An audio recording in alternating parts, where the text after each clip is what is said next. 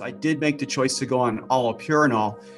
And the reason for that was three years into this, literally. And I have, I have uh, extensive data on myself because I finger stick for uric acid every single day before and after meals. Uh, and I've been doing that for a really long time.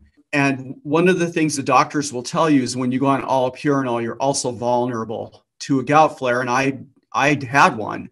And here's the the thing that is amazing my uric acid concentration was 4.5 mgs per deciliter. It's exactly in the range. If you talk to uh, dr johnson about this and you say well you know after somebody is stabilized right they've eliminated alcohol and fructose and and hyperglycemia and they're no longer having gout flares if they still are hyperuricemic and they take an uh, urate lowering drug, what's the target? And he's going to say between four and five mgs per deciliter.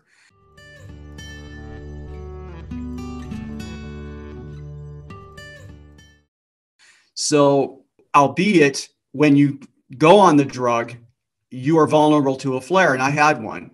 The interesting thing is, is that just like the first flare that I described to you, the symptoms were mild and I didn't have to take even ibuprofen and I didn't stop exercising. This seems to be a, a benefit to being on a ketogenic lifestyle, whether it's carnivore or whether you've you've ramped up the hill from that and you're eating, you know, low carb vegetables as a as a function of, of your lifestyle or not, that if you do have a gout flare, that it tends to be mild. And this is what I hear from my followers too. I'm not claiming that this is any way of a scientific study, but the majority of them say up front, well, yeah, I've still had, I'm still having some flares, but they're nothing like what I had before.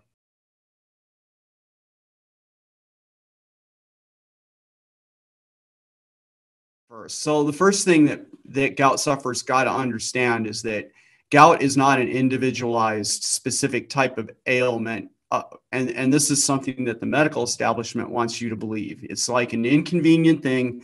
You take an anti-inflammatory and it goes away. It's not. Um, we know that uric acid is required for a gout flare, but here here's the distinction.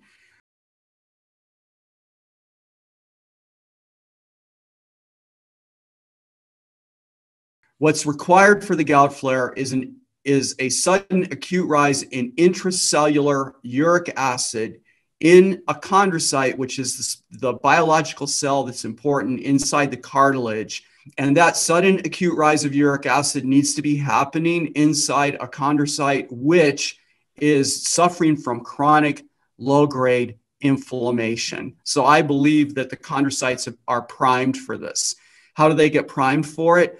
Because people like me, for example, I'm in my 60s and I've been eating, I was eating the standard American diet for decades and th- which is hyperglycemic. And then as an adult i was i was drinking alcohol on a regular basis along with the added sugars. So you have what's called the, i call it the deadly triad.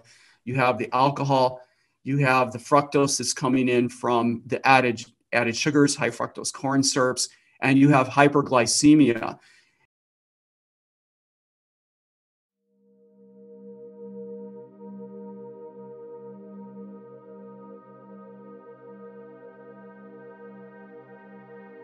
doctorstotrust.com